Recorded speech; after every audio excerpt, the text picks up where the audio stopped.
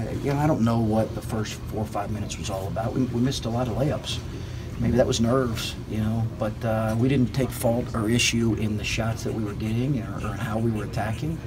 We just we just missed some some easy buckets, but um, you know, this group was incredible in their spirit to come back, and our second half, uh, as, as much as we jumped them, was was incredible to see.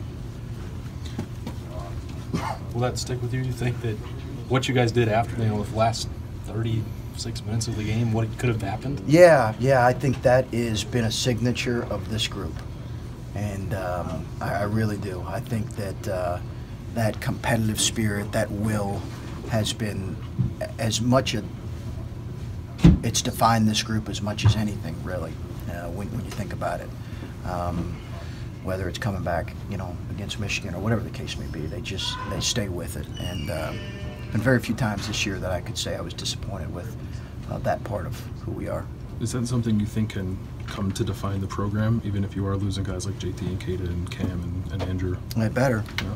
It better, or else we get we got the wrong guys assembled. Um, that better be what we're about, um, um, because that's uh, and that's what we're certainly what we're looking for in guys when we, when we recruit them. Um, you know, listen, we'll, we'll, probably have some thoughts on on what our future uh, will look like. I'm not sure that now's. Uh, I want to put too much thought in that, but absolutely, that needs to be one of the things that defines us as a program, for sure. What did um, what did those guys say, the older guys in this in the room after you, after you guys lost the game? Well, it was it was what you'd expect uh, from a group that really cares.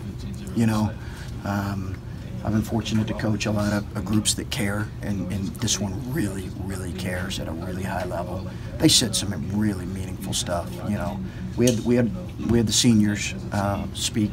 We didn't have them. They they they they volunteered and spoke. Uh, it was emotional. We were all emotional. Um, every year, I think, hey, I'm, I'm not going to get emotional. We're gonna we're gonna handle it. And it never happens. Um, so it was emotional for all of us because uh, you know they put a lot of investment into this group and and they had they had a great time. They had, they had a lot of fun. Is Keita one of those guys that, spoke and where do you guys go from here trying to that process play Yeah, out? yeah. Well, he was, he was, but uh, we'll we'll sit down with he and his family here in a week or so. You know, there's there's no rush to. You know, to get into that, we'll, he'll spend some time with his family, and then we'll sit together with his with his family. What did you tell this group after after the game? I think we, we I just spoke for the coaching staff and told them how proud to coach them we were.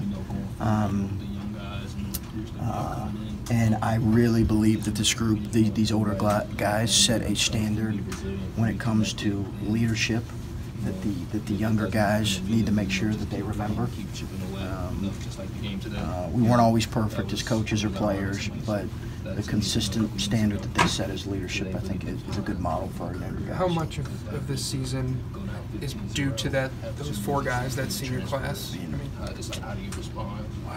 if I put a percentage on it, it's just about all of it. You know, just about all of it. Um, they they certainly had to embrace us, and you know, and listen. I mean, you know, we had to prove to them that we were. Yeah, I think you always do that. Prove that you can put them in the right position and help them be successful and help them win games. And when that happens, usually the, they trust you a little more. In your coaching career, is this one of the more unique groups you've ever been around? Um, I think this group. Um, has maybe reached, I don't, I don't mean it's hard to say, but has maybe reached, uh, uh,